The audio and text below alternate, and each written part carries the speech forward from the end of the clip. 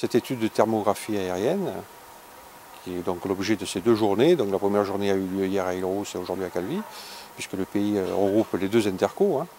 donc pour présenter le résultat de, cette, de cette, étude, hein, de ce diagnostic, qui permettra donc à tous les administrés, à partir de ce diagnostic, de faire une évaluation précise donc, de l'état euh, de leur maison, hein, de l'état euh, de déperdition énergétique de leur maison, et de les orienter vers des travaux, donc, et éventuellement aussi donc le, volet financier, c'est-à-dire les subventions auxquelles ils peuvent prétendre pour euh, mettre leur, euh, logement aux normes. En fait, il y a un dégradé de couleur qui correspond au niveau de déperdition thermique des logements.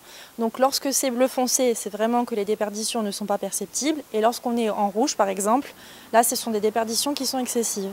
Après, à savoir qu'il faut être vigilant dans l'interprétation des résultats, parce qu'en Valais, on a beaucoup de logements euh, qui ne sont pas occupés l'hiver, ce qui fait qu'ils ne sont pas chauffés et donc euh, qu'ils apparaîtront forcément en bleu.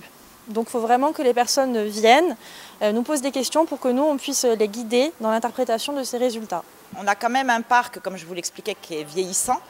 Euh, les maisons de village ne vont pas être forcément les plus déperditives parce que ben, on avait des murs épais et que ben, les gens du coup ont, des maisons qui sont relativement bien isolées.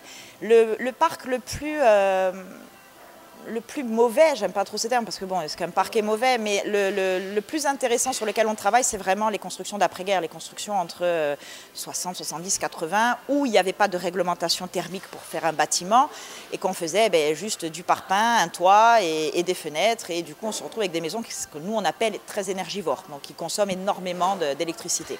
Pour de la construction neuve, aujourd'hui, euh, toutes les constructions sont soumises à la réglementation thermique 2012. Donc on a... Euh, les constructions doivent être euh, accompagnées par un bureau d'études qui va faire tous les calculs possibles pour arriver à la fin de la construction et lorsque le ménage va s'y installer à des consommations d'énergie très faibles.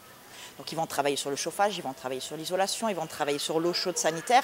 Tout ça, c'est un accompagnement. Nous, on peut apporter un peu de conseils. Par exemple, si la personne hésite entre un chauffe-eau solaire ou un chauffe-eau thermodynamique, lui montrer euh, les avantages, les inconvénients s'il y en a, etc.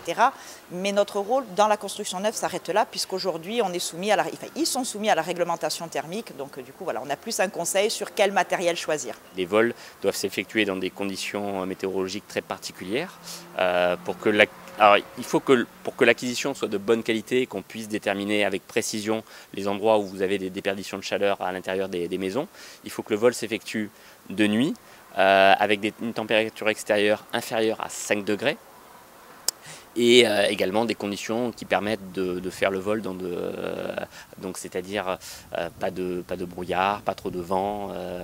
Donc je vous laisse imaginer à quel point ce sont des opérations qui sont complexes à, mener.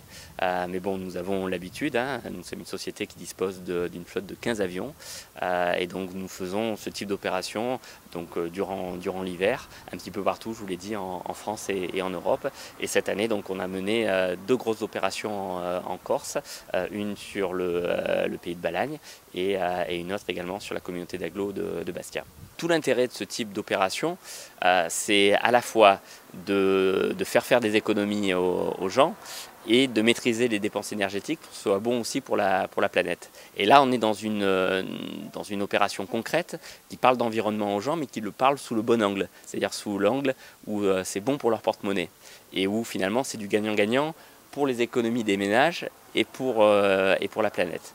Euh, et les gens sont de plus en plus sensibilisés à, ce discours, euh, où on n'est pas dans une logique de culpabiliser les gens, mais où par contre on leur fait faire des économies en leur disant c'est un petit peu dommage de mettre de l'argent qui est bêtement dépensé à chauffer l'extérieur, alors qu'il vaudrait mieux que quand on chauffe sa maison, la chaleur elle reste à l'intérieur et qu'on puisse comme ça faire des économies très significatives sur la, facture énergétique euh, tous les mois du chauffage d'un ménage.